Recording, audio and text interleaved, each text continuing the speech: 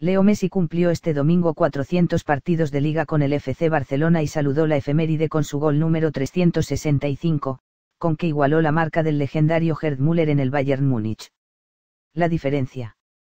La voracidad del argentino es tal que precisó 27 encuentros menos que el alemán para alcanzar esos 365 goles, como si fuera uno por día del año. Fue, probablemente, una de las imágenes con las que se quedó Philippe Coutinho, que vivió su primera jornada en Barcelona en la tranquilidad de su hotel a la espera de recuperar el protagonismo este lunes en que será presentado oficialmente como nuevo jugador del Barça. Coutinho no asistió al Camp Nou porque el Barcelona estimó más adecuado no apartar el foco del equipo en un día de partido y siguió desde un hotel la victoria de su nuevo equipo sobre el Levante. El hombre récord del club, sin embargo, comprobó de sopetón quién es quién en el universo azulgrana. Buen amigo de Luis Suárez desde su breve coincidencia en el Liverpool, el uruguayo, probablemente, ya le habría puesto en antecedentes, el Camp Nou es el jardín de Messi. Más aún, es el hogar del 10, el templo en el que todos y cada uno de los futbolistas que visten de azulgrana le rinden deportivamente la misma pleitesía que disfruta de parte de la hinchada. Y lo comprobó en juego y números.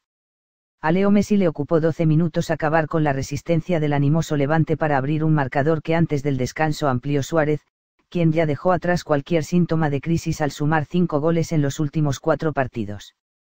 Pero el foco, invariablemente, se situó de principio a fin en el 10. El crack argentino fue castigado con un marcaje severo durante la primera mitad. No especialmente duro pero sí muy intenso que provocó la ira de la hinchada pero no descentró a Leo, quien volvió a casar con Jordi Alba para enseñarle a su nuevo socio la importancia que ha adquirido el lateral catalán. Cinco asistencias de gol suma Alba esta temporada para un Messi especialmente activo durante la primera mitad y que mostró tanto sus galones como su veteranía al reservarse de carreras intrascendentes en la segunda.